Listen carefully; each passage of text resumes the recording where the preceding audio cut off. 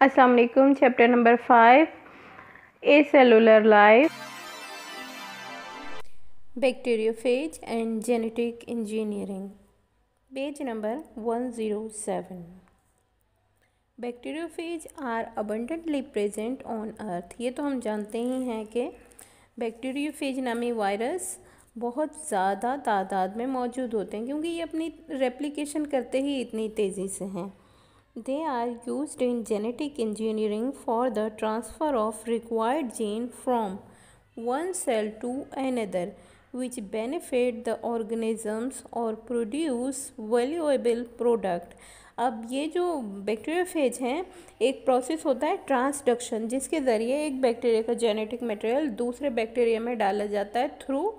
Bacteriophage यानी bacteriophage को एक बैक्टीरिया पे यूज़ किया जाता है इंसर्ट करवाया जाता है और उसके बाद दूसरे बैक्टीरिया पर। तो इस तरह एक बैक्टीरिया का जेनेटिक मटेरियल दूसरे बैक्टीरिया में ट्रांसफ़र हो जाता है और इस तरह से वैल्यूएबल प्रोडक्ट की तैयारी के लिए जेनेटिक इंजीनियरिंग में हम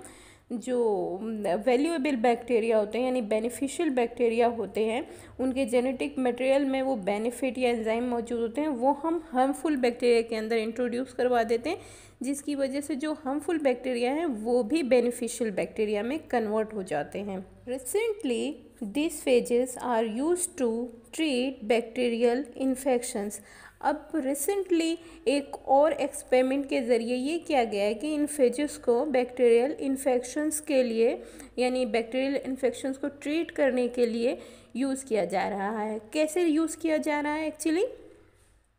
the genetically modified phages when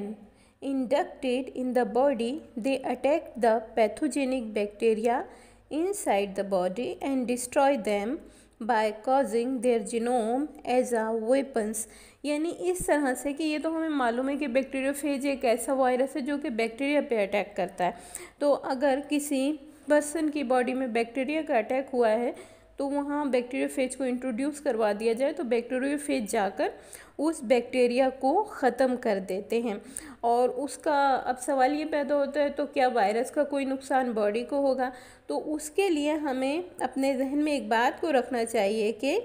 keeping in view that they are host specific and do not harm the other microbes and cells of the body यानी जो वायरस के बारे में एक ख़ास बात है कि ये अपने होस्ट स्पेसिफिक होते हैं। यानी जो बैक्टीरिया पर अटैक करने वाला वायरस है, वो इंसान को या जानवर को या पौधे को कोई नुकसान नहीं पहुंचाएगा। सिर्फ़ और सिर्फ़ बैक्टीरियल इन्फेक्शंस को ही ख़त्म करेगा, यानी कि बैक्टीरिया को ख़त्म करके। Phages are also use to present antigens which provide identification for the immune system to activate and destroy the pathogens that invades on our body यानी उसके अलावा ये जो फेजेस हैं इनका एक और यूज़ ये होता है कि इनसे एंटीजेंस तैयार की जाती हैं या इन्हें एज एंटीजेंस यूज़ करवाया जाता है क्योंकि इनके पास जो मशीनरी होती है वो आइडेंटिफिकेशन की सलाहियत रखती है और दूसरा बैक्टीरिया को किल करने की पैथोजेंस को किल करने की सलाहियत रखती तो है। इस तरह से बैक्टीरिया फ़ेज़ को डिफरेंट पैथोजेनिक इफ़ेक्ट और बैक्टीरियल इन्फेक्शंस को ट्रीट करने के लिए यूज़ किया जाता है।